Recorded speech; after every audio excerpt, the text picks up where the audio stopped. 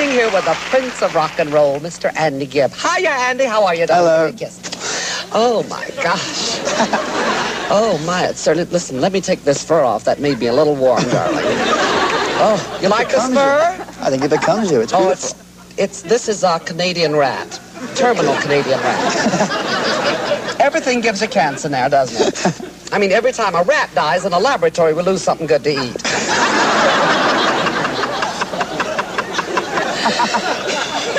Now let's get right down to it, darling. Right. Uh, the first question I like to ask anyone, especially in show business, well, anywhere if I'm going to have a date with them or whatever, are you rich?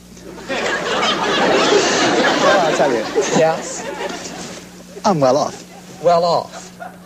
Oh, that's the way I like it. Rich and likes to get well off.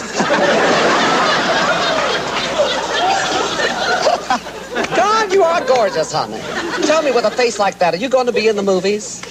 Well, I can ask you the same thing. Oh, well, I think it's over for me. I tried out for a lot of things, but uh, Jean Harlow got all my parts. Of course, she had the best parts to begin with. but of course, I never wanted boobies. It'd just be two more things I'd have to worry about. now listen, let's get serious. Okay. I want to know what it's like to reach stardom and puberty at the same time. Well, well, I mean, like, you know, what's it like to make it before you can make it? what is it like, darling? You did do it at an early age. oh, I did. I still do. Um, I mean, excuse me. Are you bleeping that? I read your bio, and uh, so you were born in England, Right. moved to in England. Australia very early, Right, and I then back to England, and back and Spain too. then to Spain. Right. But I want to talk about. Then you moved over to a British Isle, the Isle of Man. The Isle of Man. I Yes. never heard of that. Is it uh, very large? It's about 30 miles by 15. Mm. And all my brothers were born on the Isle of Man. Long and narrow, just Long like I like my man. No, it's very, very nice to uh, have have started my career and being successful at an early age. But of course, I'm getting older, you know. I'm 22 now, so. Well, you're growing up, and you want a But little ladies like yourself. older. A lady like yourself in my own. I fully understand that, Andy. You don't have to explain that to me.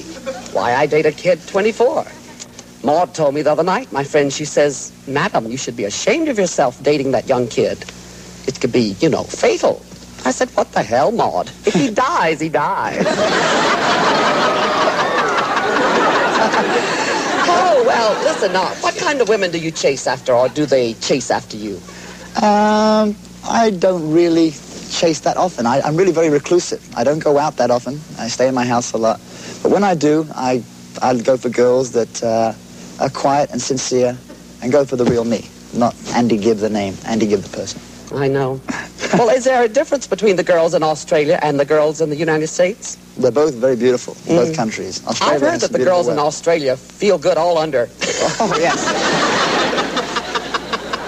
you get all the good lines. Oh, my. You know, in, in Vegas, I do a lot of Vegas. And I know in Tom Jones' act, the girls throw their panties to him uh, when he's on stage.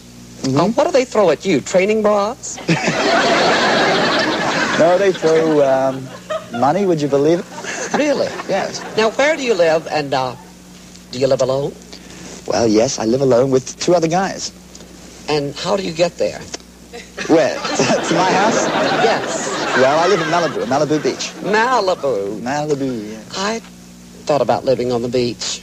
I have a good friend that did, did this dress. Really? He was found tarred and sequined at Malibu. Yeah. well, have you gone Hollywood since you've been here? Have I gone Hollywood? Mm-hmm. Oh, many times. Well, what sort of relationship do you have with your brothers?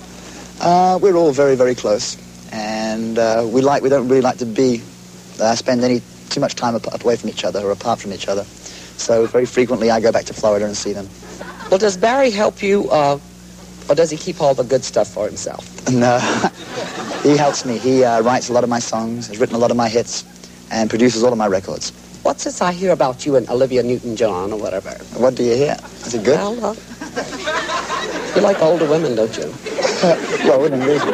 Mm. I'm No reasonable. well, uh, what do you say to Stigwood in the hall?